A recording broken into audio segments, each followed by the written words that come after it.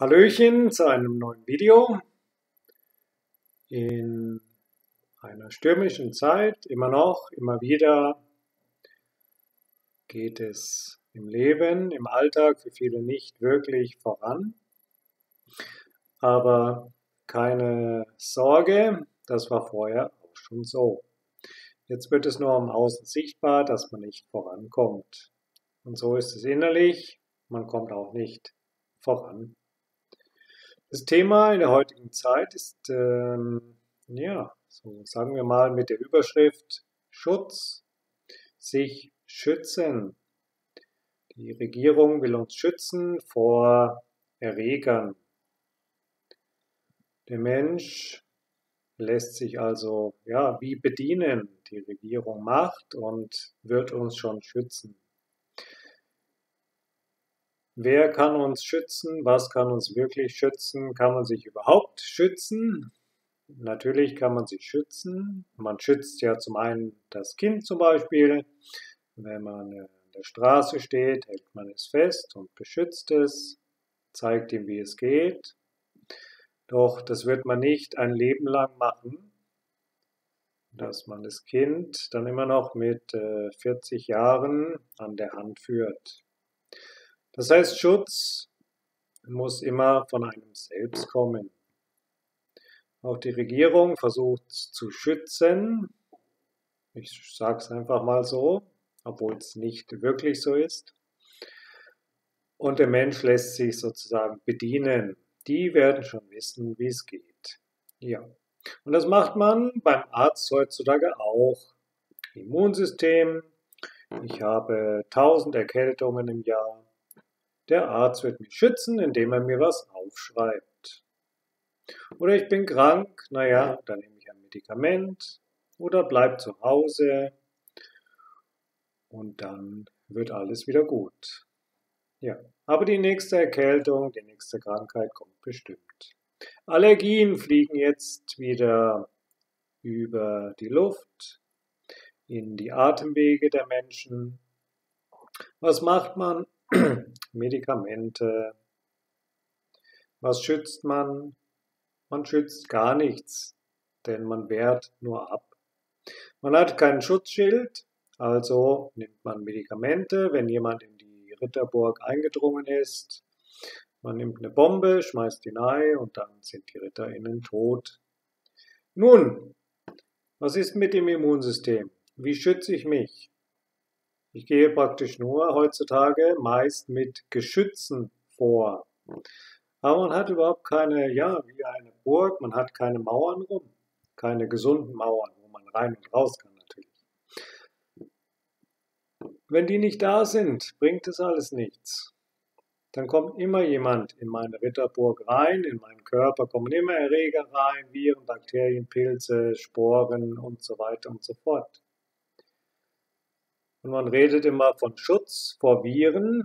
Und der beste Schutz vor Viren ist einfach, wenn der Körper Kraft hat. Wenn der Körper gesund ist, das Immunsystem stark ist. Nicht, wenn ich genug Pistolen habe.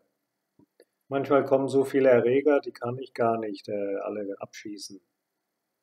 Das ist dann so eine Sisyphos-Arbeit. Ich schieße drei ab, dann kommen 50 neue rein.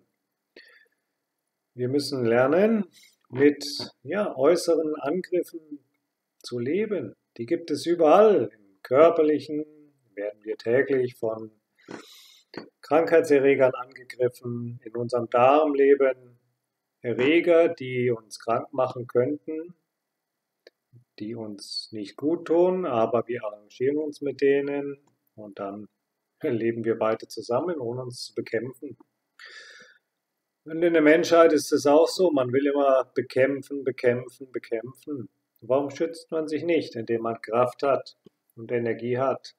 Und dann kommt ein Mensch gar nicht äh, auf einen zu und will einen, sagen wir, beleidigen oder dumm anmachen. Das braucht man dann nicht und das kriegt man oft auch nicht. Das heißt, wir schützen uns, viele schützen sich nur durch äußere Maßnahmen. Aber der Körper ist schwach wie vorher. Und durch diese Krise kommt es alles nur hoch. Es hat sich also nicht wirklich was verändert. Es ist nur jetzt sichtbar geworden.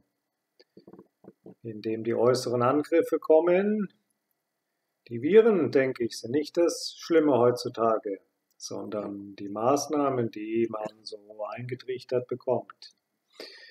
Menschen attackieren sich gegeneinander. Was ist mit dem Miteinander? Ja, in der Natur gibt es Gut und Böse, das wird es immer geben. Und wenn man sich arrangiert mit gewissen Dingen, ja, mit dem Tiger kann ich mich nicht immer arrangieren, dass er mich nicht frisst. Aber mit den meisten Dingen der Natur kann ich mich arrangieren. Ich kann lernen, wenn der Vulkan ausbricht, sollte ich lieber 1000 Kilometer weiter weg sein. Und dann geht es schon. Aber das, was gerade gemacht wird, ist nur Angst, Angst, Angst. Und das, was gar nicht gemacht wird, überhaupt nicht, ich habe es noch in keinen Nachrichten gehört, weder im Radio noch im Fernsehen, stärkt euer Immunsystem. Geht miteinander, nicht gegeneinander. Jeder hat eine andere Meinung, miteinander, mit einem anderen oder mit eins einander. Aber das macht man nicht. Wenn einer eine andere Meinung hat, dann äh, weg, raus, gehörst nicht dazu. Das ist so wie im Kindergarten. Hast die falsche Hose an, dann gehörst du nicht zu unserer Gang. Und das kann es nicht sein. Wo ist das Immunsystem, das man stärkt? Nein, man kämpft immer nur. Und das, was beim Kampf immer passiert, ist Tod, Verlust, Zerstörung. Das ist so. Und wenn man miteinander das Leben lebt, mit sich selbst vor allen Dingen und seinen Körper stärkt, dann kann man so viel abwenden, weniger Probleme kommen auf einen zu. Doch wie man so weiß, es wird nicht gemacht.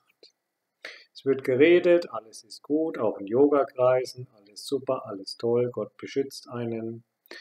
Aber im Leben schaut es wieder anders aus. Ich kann kein Yoga geben, ich habe kein Geld, ich habe nichts zu essen. Und das, was man immer machen kann, ist, seinen Körper zu stärken, seinen Geist, sein Immunsystem. Dass man in Zeiten, wenn Krisen da sind, wenn Krankheitserreger rumfliegen, gewappnet ist. Das ist alles. Und die innere Kraft, die nach außen ausstrahlt, macht noch viel mehr als nur, wenn ich sage, ich esse viel Gemüse und Obst, dass mein Immunsystem gut wird beispielsweise.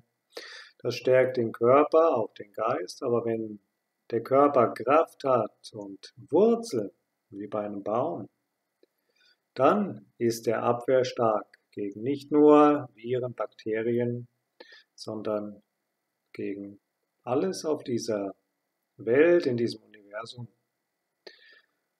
Und darum geht es, das Immunsystem nicht äußerst, der, der hat gesagt, wir müssen uns verstecken und abkapseln. Das stärkt ja niemanden. Der Mensch wird nicht stärker dadurch. Weil er alles vorgegaukelt kriegt, du musst es so machen, du musst es so machen, du musst es so machen. Der Mensch hat alles in sich, was er braucht. Er sieht es halt leider nicht, deswegen braucht er gerne auch mal Führung von außen. Doch wenn man gar nichts macht, ist wie ein Kind, das sich immer nur bemuttere, bis es 18 Jahre ist. Du darfst das nicht, hey, pass auf, wenn du das machst, hey, pass auf, die Herdplatte ist heiß. Das ist einmal gut, nur wenn ich es jeden Tag 50 Mal sagen muss. Und dann immer noch sage, wenn ich genau weiß, das hat es schon gelernt, dann schwächt man einen Menschen nur. Und das ist dann wie dieser Begriff Herdenimmunität. Ja, die Herde. Ja, ich bin ja kein Schaf und renne den anderen Menschen hinterher. Ich muss es genauso machen wie die und die. Ja.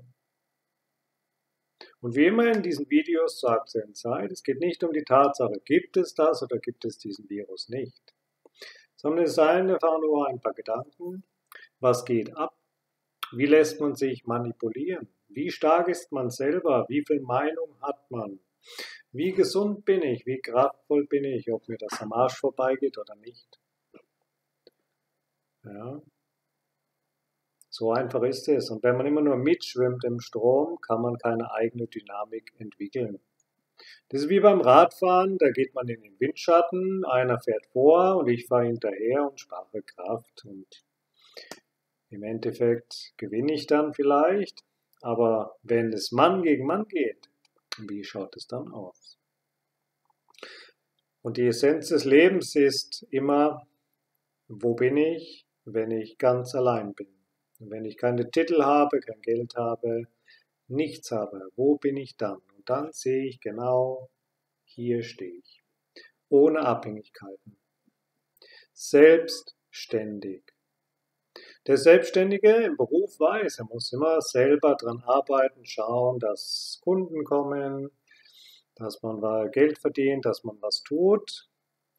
In der eigenen Immunität. Dies wird der Ortsche Richter, der gibt mir irgendein Antibiotika zum Beispiel. Aber jeder Selbstständige weiß, wenn ich immer nur Geld von außen kriege oder mir jemand sagt, hey, komm, ich sponsere dich, dass du durch die schlechten Zeiten kommst, dann lernt man nichts. Das kann man mal machen, aber auf Dauer gesehen ist es nicht gut. Und beim Immunsystem ist es genauso. Wenn man immer nur von außen vor den Viren, Bakterien wegläuft, stärke ich mein Immunsystem nicht. Wenn ich immer nur Medikamente nehme, stärke ich mein Immunsystem nicht. Das kann man alles machen, ist nicht verkehrt. Medikamente und solche Lockdowns haben schon solche Vorteile. Aber wenn ich mich nur auf dieses eine, auf diese eine Seite verlasse, wird der Mensch nicht bewusster, achtsamer, selbstbewusster und entwickelt eben keine eigene Dynamik. Und dann ist man so wie ein Schaf an der Herde. Und dann ist man herdenimmun. Ja. Und dann steckt man sich eben in der Herde an.